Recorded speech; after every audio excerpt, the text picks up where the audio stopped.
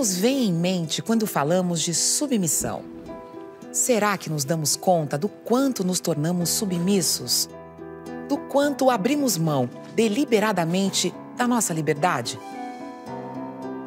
No século XVI, o jovem Etienne de la Boétie levantou uma série de questões que ainda hoje ecoam na nossa maneira de viver.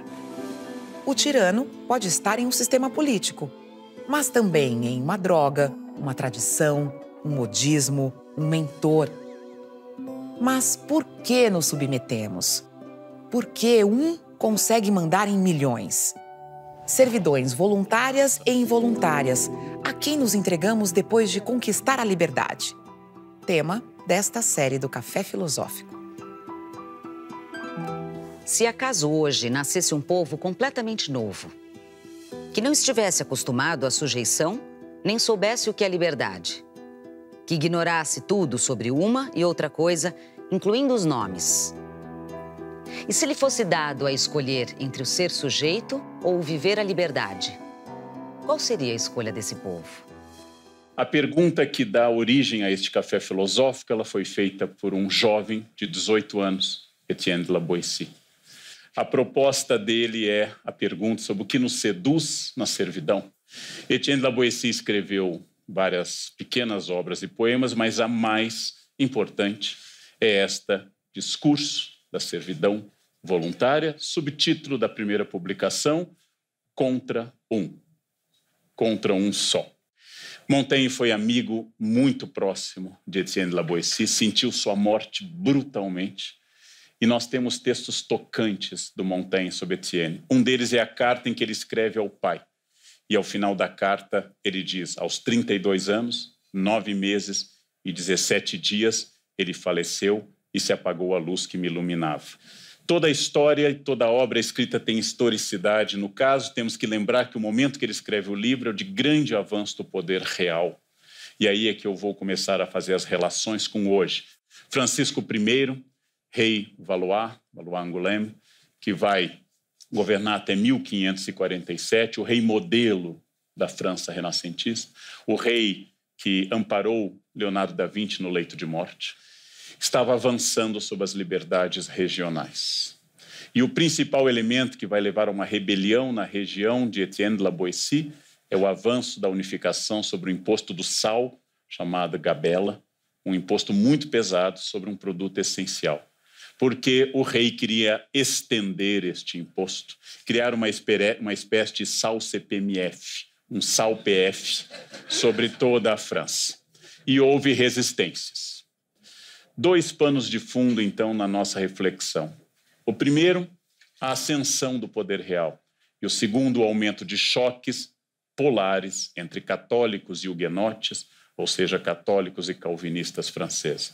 Etienne faleceu antes de ver o ponto máximo desse choque, que foi a noite de São Bartolomeu, um massacre de protestantes na França, e Etienne viu o início deste processo, polarização, e ele, neste momento, tenta atuar como diplomata entre os dois lados, cada vez mais afastados. Polarização, pensaria Etienne, esvazia o debate, some a gradação. Porque a pessoa que polariza, e nós vemos isso hoje no Brasil, não admite o cinza, apenas o preto e o branco, e não pensa mais apenas adjetiva. Apenas joga sobre o outro, você é adepto disso, você é um ladrão, você é adepto disso, você é das elites brancas. A polarização política é um defeito grave, é um ataque à ideia da reflexão e do raciocínio, ela qualifica, ela grita, ela pensa pouco, ela julga e se vocês querem ver o risco da polarização política, lembrem que o país hoje mais polarizado se chama Síria, e a Síria está expulsando toda a sua população que se joga no mar para fugir de um país que não conseguiu resolver seus problemas de polarização. Polarização não significa que a gente não possa ter opinião divergente, que é muito bom, mas que ninguém mais escuta ninguém. Boeci detestava essa polarização.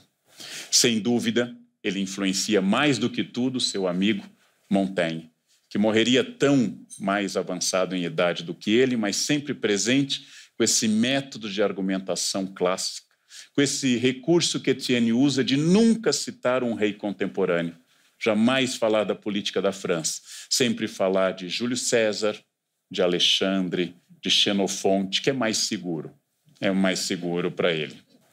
Poder subversivo dessa obra, muito pequena e muito fácil de ler, é a contradição do título: servidão voluntária.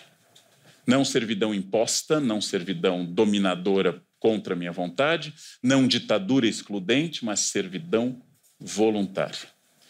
Porque Etienne resolveu trabalhar a minha servidão, a minha escolha em servir, a minha entrega ao tirano, a minha capacidade de abrir mão da minha autonomia, não apenas a tradicional tirania. Não que ele esteja muito distante, mas separado por alguns anos da publicação da obra de Maquiavel, Maquiavel trabalhou mais o príncipe e os jogos da política. Etienne se preocupa com o fato por que é que as pessoas obedecem. Por que, que elas abrem mão da capacidade de decidir? Para Etienne, os governantes, que ele chama simpaticamente de tiranos ou mestres, chegam ao poder por três vias: eleição, violência ou sucessão. Mas a questão central: por que um manda em milhões? Não é possível explicar apenas pela força, já que nem Francisco I e nem outros, neste caso, deram um golpe. Eles estão à frente de uma linha regular de poder. Deve haver algo mais nessa lógica de dominação.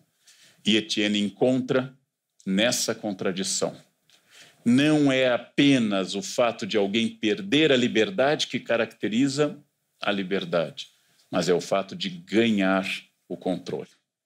Etienne pega o lado positivo de receber o controle, porque alguém que abre mão da liberdade ganha a servidão. E aqui ele dá uma pista terrível para todos nós. A servidão pode ser uma zona mais do que a liberdade. Temos mais prazer na submissão do que prazer na liberdade. Este é o X da questão. Ele não analisa o que se perde, ele analisa o que se entrega e o que se ganha. Ele inverte a política e trata do súdito e não do governante, ainda que ele fale do governante. Ao inverter a política, Etienne de la Boétie inverte uma pergunta polar e passa a pensar o que significa essa entrega. Quatro séculos antes de Sartre, ele anuncia o medo da liberdade. Quatro séculos antes de Sartre, ele anuncia a resistência social, psicológica e histórica à autonomia. A autonomia incomoda. A liberdade não traz necessariamente a felicidade. A liberdade que nós defendemos, gostamos e nos entusiasmamos, a liberdade que os professores em geral proclamam nas universidades, mais proclamam do que praticam, não traz a felicidade. E uma chave discreta da obra está numa fala de Odisseus, ou seja, Ulisses para nós, tirada do canto 2 da Ilíada, que ele coloca como epígrafe da obra. Ulisses diz aos gregos rebelados nas praias de Ilion, de Troia, não é bom ter vários senhores. Uma coisa maravilhosa, mas ele acrescenta: um só seja o senhor, um só seja o rei. Lamento, Etienne. Por que, que Ulisses não parou na primeira frase? Ele lamenta porque Ulisses, Odisseu, é o seu herói. Por que, que ele não reconheceu que não é bom ter senhores? Não é bom que muitos mandem. Mas ele diz: é bom que um só seja o rei. Por que tantos homens suportam um só? Ou pergunta do Etienne: por que tantos burgos se submetem a um único governo? Metáfora de Etienne: o fogo do poder só arde porque eu coloco lenha. Se eu parar de colocar lenha, o fogo se extingue. Não é necessário jogar água. Não é necessário eu me rebelar contra nenhum governo. Basta parar de apoiá-lo. Esta é parte da resistência pacífica dele que vai ser resgatada. Um governo precisa da lenha, e a rebelião, inclusive, pode ser lenha do governo. Comenta ele, eu sei que isso vai parecer estranho a vocês, mas isso estamos na metade do século XVI. Um tirano que já recolhe muitos impostos não cessa de propor, propor novos impostos. Eu sei, isso é absolutamente estranho aos senhores. Quanto mais o governo pilha, mais deseja pilhar. Quanto mais impostos arrecada, mais deseja cobrar. Quanto mais faz lei extorquindo a nação, mais alega déficit para novos impostos. Era um horror na França do século XVI. Dessas ideias surge parte da ideia do anarquismo e da resistência pacífica dele. Mas de onde nós aceitamos este absurdo? Segundo ele, o primeiro passo é o hábito. O hábito que ele compara a um cavalo. Coloque-se no cavalo o freio, o arresto e a sela e o jovem cavalo, o jovem garanhão vai empinar, relinchar e vai derrubar quem tentar sentar. Coloque-se um segundo dia, um terceiro dia, coloque-se todos os dias, e segundo ele, eu não tenho essa experiência, o cavalo começa a mastigar com prazer o arreio. Já incorporou o arreio. O cavalo se acostumou. Agora imagine o potro que nunca viu outra coisa a não ser o arreio. Este somos nós. Nós somos os potros que já nascemos domesticados. Nós somos cavalos já acostumados à sela e achamos natural que o imposto seja alto, que o Estado não dê quase nada em troca e que tudo isso transcorra com absoluta tranquilidade. Não é saber porque a sociedade é tão violenta que ela é, mas saber porque ela não é mais. Porque ela não é mais violenta, dado o grau de violência que a administra. O cavalo que relincha se acostuma, lambe o que o oprime, o hábito produz, vamos ao campo de Aristóteles, uma segunda natureza tão densa que achamos natural que sempre tenha sido assim, que sempre seja desse jeito. Ser livre nos torna responsáveis diante da escolha. Ser livre apresenta angústia. Atrair o pássaro com um apito ou o peixe com a isca de anzol é mais difícil que atrair o povo para a servidão, pois basta passar-lhe junto à boca um engodo insignificante. Os teatros, os jogos, as farsas, os espetáculos, as feras exóticas, as medalhas, os quadros e outras bugigangas eram para os povos antigos engodos da servidão, preço da liberdade, instrumentos da tirania como os tiranos se perpetuam. Antigamente, em Roma, com espetáculos, jogos, diversão pública. Em troca da tirania, ofereciam pão e circo, diz Etienne. Os romanos, segundo ele, achavam Nero um horror, mas disseram que as festas de Nero eram ótimas. Ao fenômeno festas acrescentou-se no Estado o fenômeno religião. Deus quer o rei, Deus apoia o rei. Etienne propõe, invoca Deus a todo momento na sua obra, que Deus não tem culpa da tirania. Não envolvam Deus na tirania. Deus não tem relação com isso. A religião surge neste campo para tornar suportável o insuportável. Mas os tiranos não governam só com religião ou com hábito. Os tiranos precisam de assessores. Os tiranos precisam de pelo menos cinco ou seis eu diria 39 ou 31, depende do momento. Os tiranos precisam de um grupo que os apoie, porque cada um destes cinco ou seis, diz Etienne, manda em outros dez ou vinte, e estes dez ou vinte mandam em cem, e nós estabelecemos, aí eu cito um dos grandes especialistas em Etienne, Marcel Conche, frase é dele, o tirano tiraniza graças a uma cascata de tirania em que os tiranizados, para se vingarem, tiranizam os abaixo. Quanto mais eu for oprimido, mais, diz Marcel Conche, mais eu tiranizo também. Os tiranos vão sendo multiplicados. Humilha, também foi humilhado. Quem controla é controlado e se vinga controlando mais. E assim o tirano vai do topo desta cadeia alimentar à base sendo respeitado voluntariamente por pequenos tiranos que se produzem na sala de aula, no trânsito, nos condomínios e nas famílias.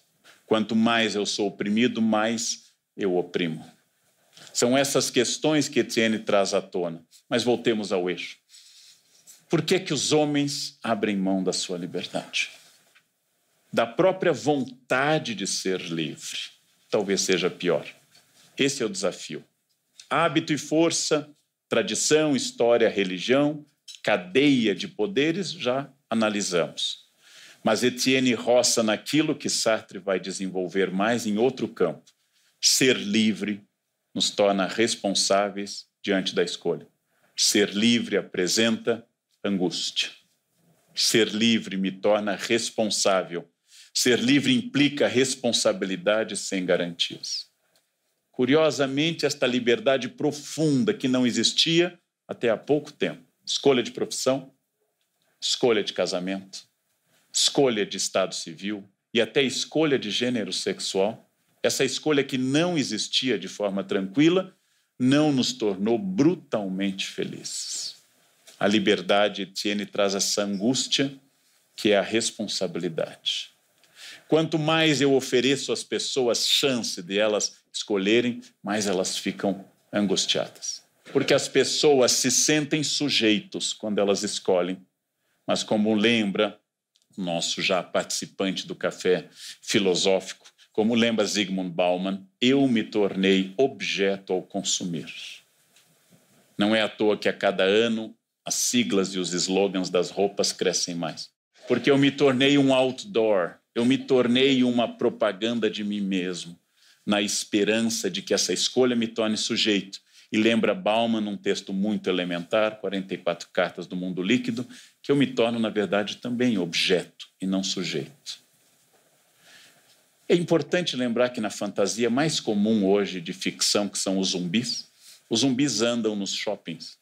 Sempre eles vão para um shopping. Todo zumbi acaba num shopping. Ou as pessoas estão dentro de um shopping defendendo contra o ataque dos zumbis. E os zumbis andando de braços assim, buscando cérebros, coitados, morreriam de fome na maior parte do país.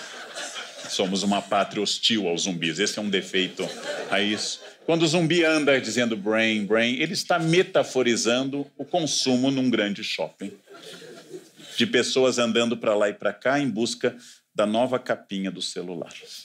Porque surgiu uma nova capinha. E eu não tenho aquela nova capinha, porque agora essa capinha é legal. Este impulso enorme de eu ser sujeito pela escolha é provavelmente aceitar que eu também sou um produto de consumo no meu corpo, na minha roupa e nas minhas escolhas.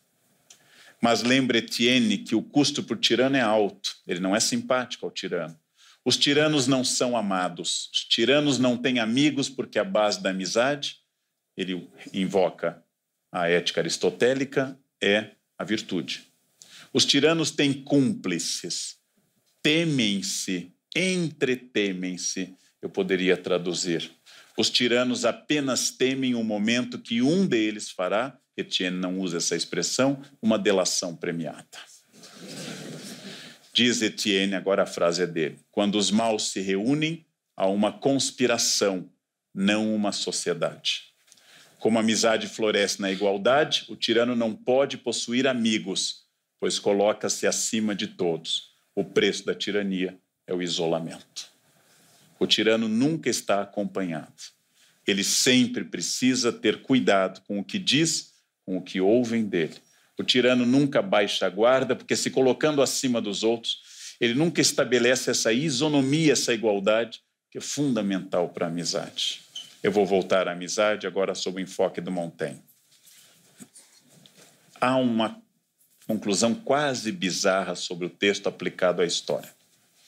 Como é que de uma luta de liberdade, como é que pessoas livres, que se reúnem para derrubar uma tirania. Como é que essas pessoas, após uma luta épica, instauram uma tirania ainda pior? A Rússia czarista era um regime fechado, sem nenhuma constituição. O czar governava por ucases, por decretos, baseado no poder da Igreja Ortodoxa, no antissemitismo declarado. O czar era o paizinho da nação. E exercia um poder que até a metade do século XIX tinha ainda servos ligados à terra.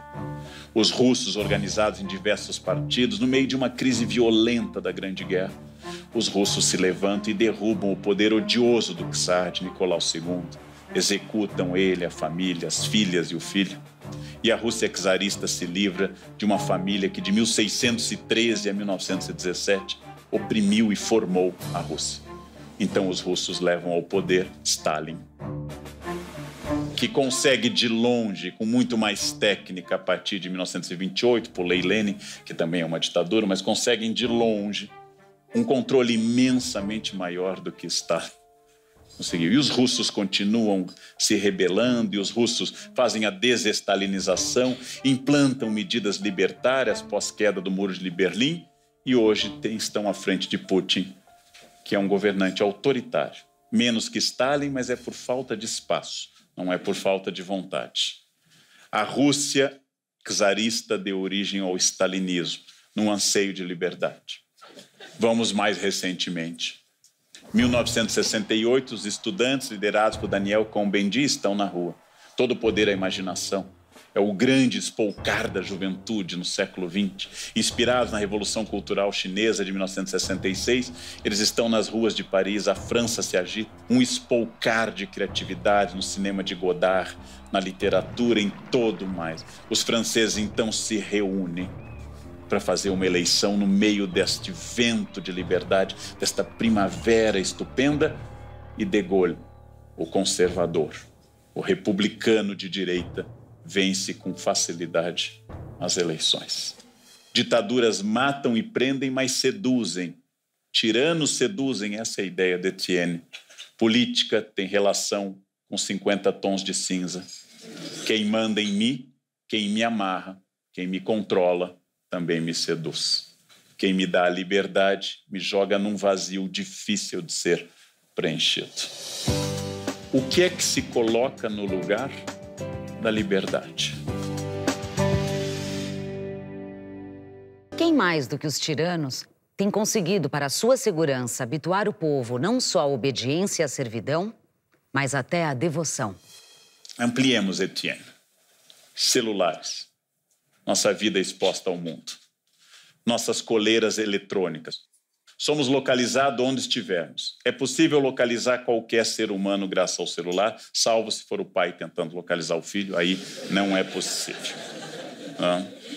Nós fornecemos as informações alegremente. Hitler dirigiu uma ditadura bárbara com auxílio da Gestapo. Hoje, uma central de celular tem mais informação sobre os cidadãos do que a Gestapo sonhou. Na democracia atual, há mais controle do que na ditadura, mas há mais liberdade. Exemplo: era possível sonegar impostos no período Médici. Não é possível sonegar impostos hoje. Ou, pelo menos, é preciso um esforço muito maior.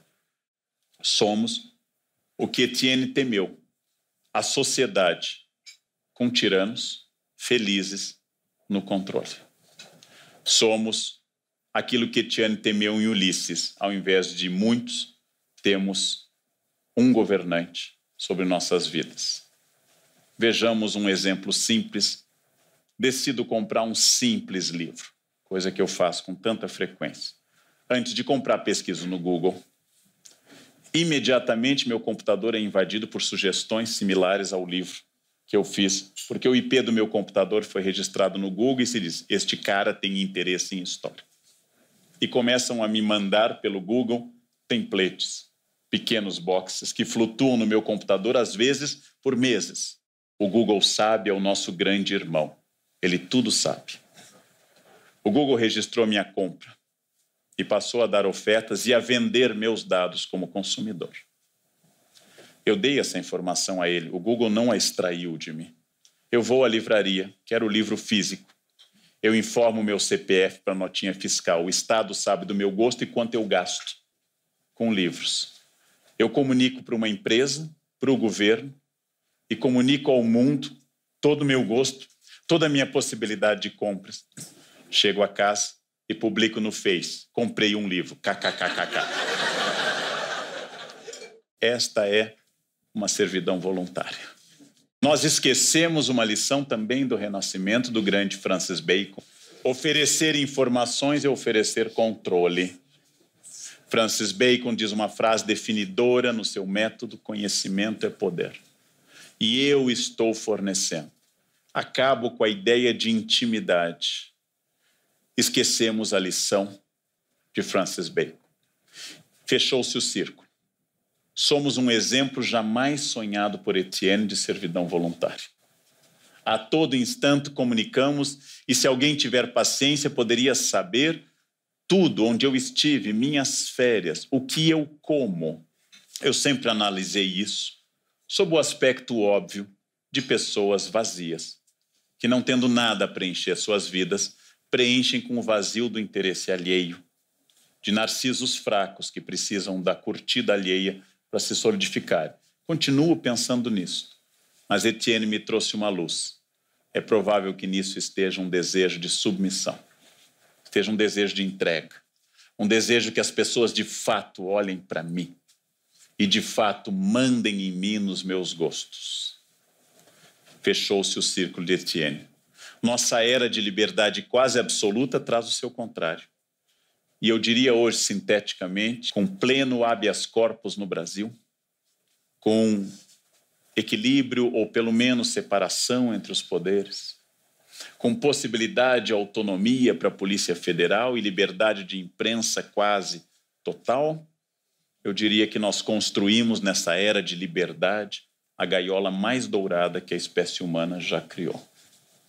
As gaiolas durante a ditadura militar, ou durante o Estado Novo, ou durante o Brasil colônia, períodos autoritários, eram gaiolas de chumbo, de tortura, de cerceamento de liberdades. A nossa gaiola é brilhante, é decorada com o que há de mais moderno. A nossa gaiola nos torna canários impotentes, incapazes de perseguir um sonho, seguindo sonhos alheios e usuais. A tirania que Etienne denunciou podia ser derrubada. A nossa, eu creio que não. Porque é gostoso morar nessa gaiola. É gostoso percorrer o shopping em busca de cérebros. É gostoso fazer tudo isso. Etienne disse que a tirania era histórica e construída. Esse é o lado bom. Essa é uma esperança. História é esperançosa. Se ela foi construída por seres humanos, ela pode ser desfeita por seres humanos história tem um traço otimista ao introduzir a humanidade nisso. Mas aí vem o outro aspecto da servidão. Etienne não tocou nisso. É o nosso amor a gurus. Por que, que nós queremos que alguém nos diga o que fazer, o que ler, o que pensar? Por que, que há programas sobre como se vestir, como cozinhar e como cantar? Seria ético questionar por que, que eu quero tanto que me digam quem eu deva ser? O sucesso da autoajuda, que eu já fiz tanta referência, não é apenas dizer coisas doces, você pode, você é capaz, você é filho do universo, você é um empreendedor. Não é apenas isso. Alguns até podem. O sucesso da autoajuda é que ela me diz o que eu quero ouvir, que este é o caminho, basta fazer assim, basta seguir desse jeito.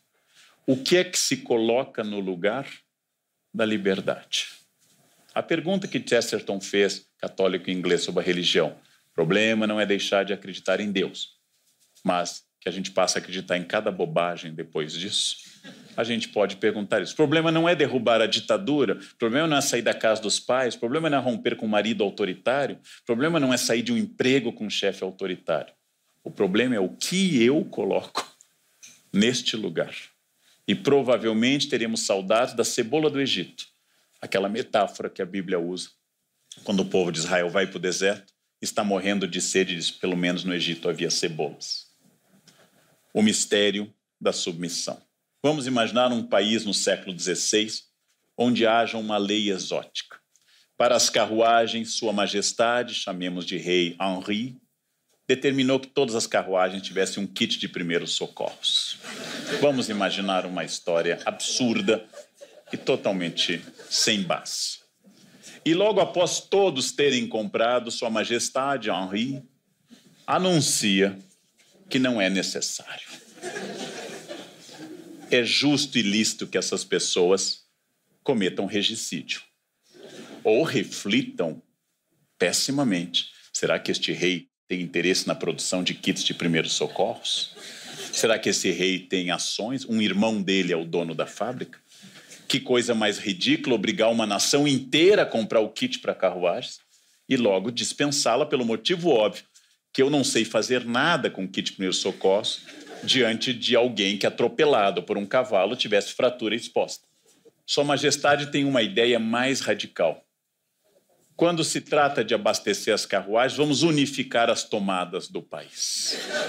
Vamos fazer que todos enfiem no mesmo buraco e da mesma forma, com um fio terra, inclusive.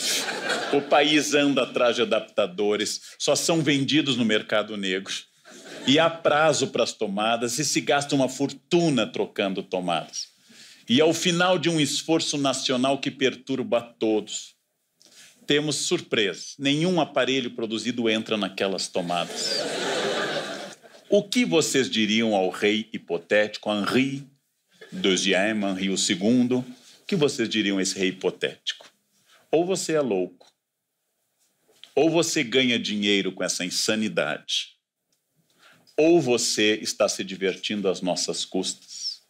Tudo isso é possível.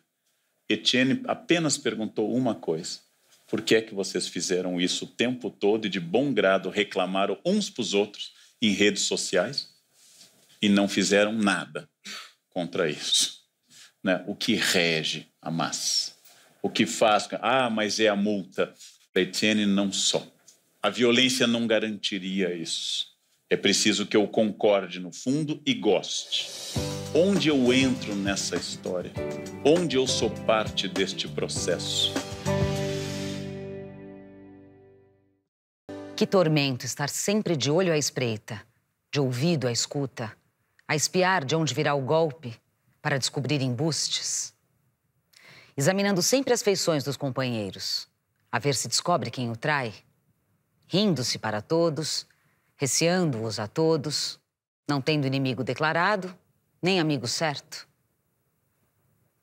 Que tormento fazer sempre rosto risonho, tendo o coração transido não poder mostrar-se contente e não se atrever a ser triste. Qual é a solução deste código imbricado, difícil? Para Etienne, ele aponta uma coisa que seu amigo Montaigne vai desenvolver. A solução para eu escapar de controles é a única relação onde o controle não pode existir, onde a isonomia é muito grande, é relação de amizade. Montaigne foi ligado a Etienne desde que conheceu o livro Discurso da Servidão Voluntária na forma manuscrita antes dele ser publicado. E tendo se encantado com a obra, procurou o amigo e desenvolveu uma amizade sólida entre eles. Nos seus ensaios, Montaigne diz uma das frases mais bonitas sobre um amigo. Diz: Se me esforçarem a dizer porque eu o amava, Etienne recém-falecido, sinto que isso não pode ser expresso apenas eu responderia, porque era ele, porque era eu. Esta frase, que é fabulosa, parce que c'était lui, parce que c'était moi, preserva no outro a total liberdade, que meu amigo é diferente e igual, porque é ele, parce que c'était lui. E mais, meu amigo permite que c'était moi, que eu seja eu mesmo. O único lugar onde eu posso fazer isso é a isonomia da amizade, não na tirania da política. Valeria também para o amor, porque eu amo esta mulher, porque eu amo este homem, porque é ele, porque é ela, porque sou eu. O amigo não me diminui, mas engrandece. O amigo me faz que eu seja mais eu. O Estado faz com que eu seja menos eu. O amigo se dirige a mim sendo ele. Eu me dirijo ao Estado sendo súdito. Essa ideia, c'était lui, c'était moi, é uma ideia fabulosa. Que ninguém se submeta a nenhuma autoridade intelectual. Que ninguém aceite porque foi dito por alguém.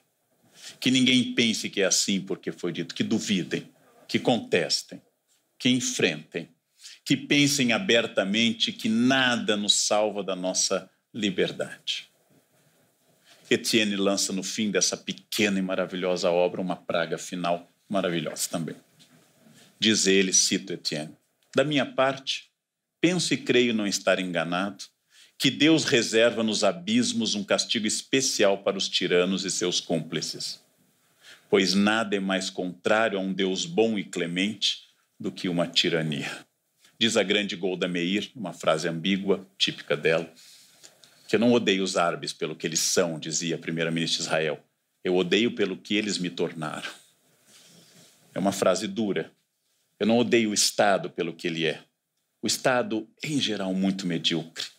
As pessoas do Estado são muito medíocres. Eu odeio o Estado. Sempre tive esta veia anarquista. Eu odeio o Estado pelo que ele nos tornou. E quando a gente tenta entender Etienne, o gigante acorda em junho de 2013 vai às ruas por alguns dias.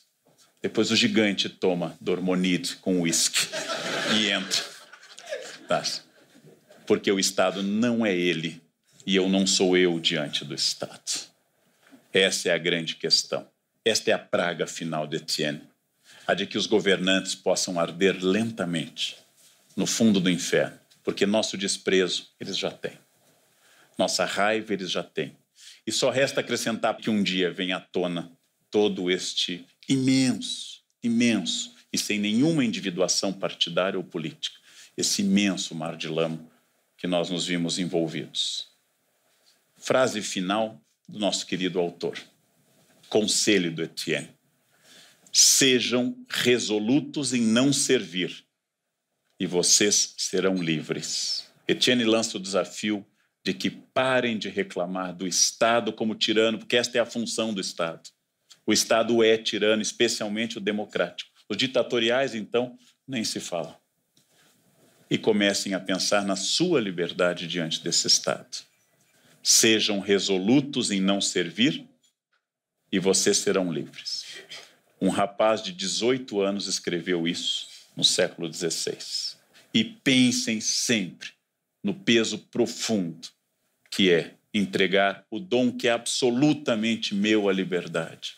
E parem de seguir gurus de moda, de culinária, de comportamento, de expressão.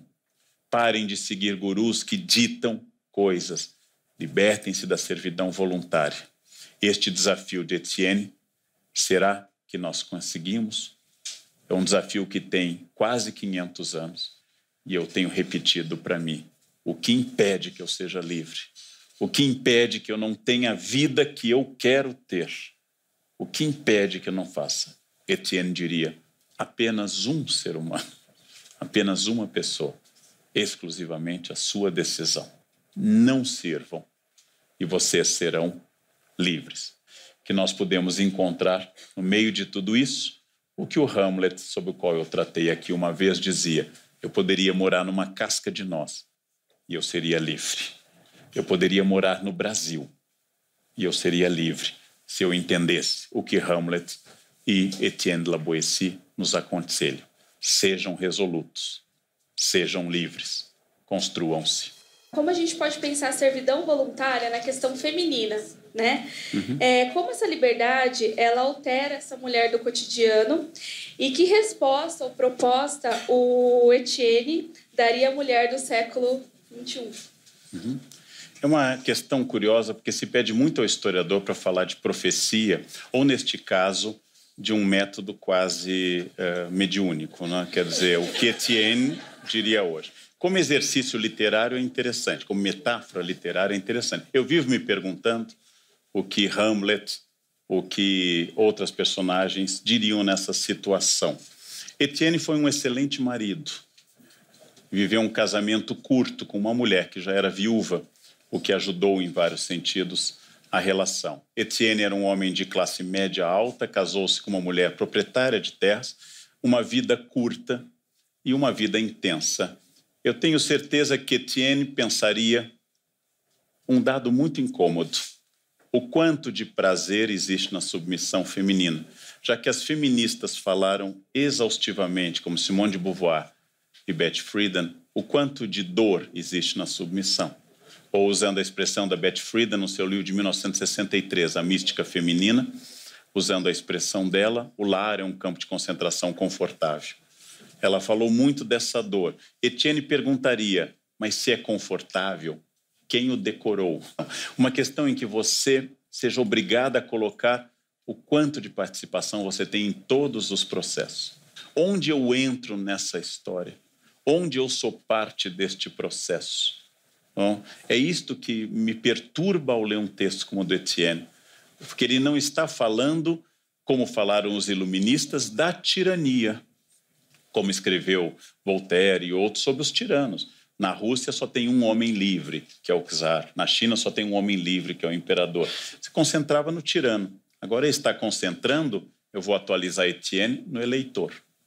Se, como Etienne disse, é, esperar em Deus o castigo dos tiranos, né, dos que nos tiranizam, também não seria ainda assim é, uma afirmação de servidão. Apostar num julgamento metafísico final, eu não posso dizer se é uma metáfora, um sentimento de denegação em Etienne, ou simplesmente um recurso retórico para dizer algo próprio do século XVI. Um historiador chamado Lucien Febvre nos diz que é impossível no século XVI a descrença. Não há palavras para expressar a descrença. Não é que as pessoas não eram ateias, mas o ateísmo só é viável linguisticamente a partir do século XVII e socialmente a partir do XIX e XX. Então, essa grande questão de não apelar ou apelar a Deus talvez seja a historicidade de Etienne, porque há uma coisa maior do que Etienne, que é a história. Ele é um homem inserido num momento. Ao terminar de reler mais uma vez a obra para preparar esse café filosófico, eu pensei nisso. Que prazer dar ler essa praga final. Que prazer imaginar como Dante que haveria um castigo. Mas como historiador, eu sou obrigado a reconhecer que você tem razão. Transpor de mim para uma entidade a nêmesis, a vingança, não é exatamente uma servidão, mas é um pensamento, pelo menos, não crítico. É um pensamento metafísico. Ele poderia ter feito diferente, aí eu me assustaria com o Etienne. Seria como encontrar na obra dele uma referência física quântica. Ou seja, estaria fora do seu tempo. Mas é a mesma coisa de Dante, que povoou o inferno com os inimigos da sua época. É uma maneira de eu, pelo menos, dizer que eu condeno através do álibi chamado Deus. O professor Luiz comenta que crianças são ensinadas a serem subservientes a partir do momento em que nascem. Até sua autonomia, como ir ao banheiro que aprendem em casa, é perdida na escola. Elas ficam em filas para comer, sentam em fileiras, ouvem sinais que indicam o que devem fazer em horários determinados. Quando chegam à faculdade, o professor lhes diz que isso acabou, que eles são responsáveis por seus atos. Como pensar a liberdade quando criamos por 20 anos um ser para ser submisso? Eu tenho dúvida de responder porque eu não sei se nós estamos criando crianças para submissão. Eu tenho dúvida que as crianças vão ao banheiro em horários corretos hoje. Eu tenho dúvida se elas fazem o que nós queremos. Eu tenho dúvida. Há muita diferenciação entre regras, são para o bom funcionamento de um grupo, e autoritarismo. Entre autoridade e autoritarismo. Qual é a diferença? Autoritarismo é quando a autoridade acha que o sistema serve à autoridade. Autoridade é quando nós decidimos que, por exemplo, é correto que no meio do café filosófico as pessoas não peguem o celular e comecem a gritar no meio, porque está sendo gravado. Autoridade é um conjunto de regras que eu estabeleço para conviver em conjunto. Autoritarismo é terrível, porque eu acho que o objetivo do café filosófico é seguir as regras e não é. Então, mas é verdade que a escola tende à uniformização, carteiras, modelos de letras. É verdade, já estudado, que as crianças que começam pintando num estilo fovista, ou seja, sem ligação com o real, começam a aprender que a terra tem que ser marrom e o mar tem que ser azul. Ainda que o mar não seja azul, mas seja marrom, e a terra nem sempre seja tão marrom. Este processo ele continua a vida inteira. É um processo de contenção. Os pais de hoje, por mais liberais que sejam, digam: não corre, não corre, você vai cair, não corre, contenha-se o tempo todo. Eu gostaria que na faculdade os professores dissessem, sejam livres e pensem. Eu também não tenho certeza que isto é a norma. Certamente há um momento da vida adulta que você diz às pessoas: decida. E este momento contraria todos os momentos anteriores que você diz: siga a norma. Respondendo como Etienne, é preciso saber o quanto da minha submissão à norma é vontade minha e o quanto ela inclui a minha servidão voluntária. Ou seja, essa é a grande questão. Seguir normas não é um problema. Eu sigo as normas constantemente. Não gritar em certos ambientes, usar o cinto no avião. Mas as normas que têm o princípio da etiqueta, que quando foi definida no século XVI, especialmente pelo cortesão de Castiglione, significa pequena ética, ou seja, o respeito ao espaço do outro. Mas é uma questão muito interessante que mereceria muito mais debate. Nós vivemos dizendo uma coisa e cobrando outra. Vivemos dizendo às pessoas: escreva em caneta azul nessa página, em tantas linhas, e seja criativo. E use a criatividade. Nós temos contradições normativas muito interessantes. Né? Porque é difícil, como Locke pensou, a vida em sociedade implica abdicar de vários princípios. É uma contradição que precisaria de mais exame, mas é muito interessante a questão. Sejam re resolutos. Resolutos não servir e vocês serão livres. Também não é uma afirmação dessa servidão voluntária uhum. quando ele impõe, talvez, não sei se a palavra seria essa. Ele está dizendo: só há um caminho que é ser livre. Liberdade pressupõe que você possa fazer seu próprio caminho. É uma, é uma ação pela negação. Então, se você entender que não, que Etienne está estabelecendo uma doxa, uma opinião, e essa opinião é dele, e eu posso ser livre para ser submisso, eu acho que Etienne concordaria. Você é livre para ser submisso também. Mas ele nos convida a um desafio, o desafio da liberdade, o desafio de pensar por si, o desafio de não refletir sobre o outro minha dor ou minha angústia. Esse desafio, ele é muito grande. Agora, você é livre para não ser livre. É uma contradição em termos, né? A liberdade não garante a felicidade. Pelo contrário, eu acho que ela tem uma chance grande de, de tornar sua vida mais incômoda. Aparentemente, a tirania estimula a produção. Ou usando uma metáfora que já se usou várias vezes, a Suíça, em cinco anos de estabilidade, produziu o relógio Cuco. Né? Enquanto que a Itália, instável, com principados em guerra, produziu Maquiavel, Michelangelo, Torquato e assim por diante. Então, eu não sei se nós somos muito produtivos durante a liberdade. Etienne diz claramente: a tirania enfraquece as pessoas. Talvez a liberdade também enfraqueça é a metáfora do filme Os Intocáveis. Não sejam tão críticos da crítica, porque isso é um defeito filosófico, é o pirronismo, que é o ceticismo como princípio. Acreditem em alguma coisa, por exemplo, a liberdade. Esta e outras palestras você encontra no site e Facebook do Instituto CPFL e no canal do Café Filosófico CPFL no YouTube. Mas passo a passo eu acho que dá para ser consciente e feliz, desde que não tenha essa concepção boba de felicidade contida nos perfis ou contida nas exposições de fotos das pessoas que mostram uma vida irreal.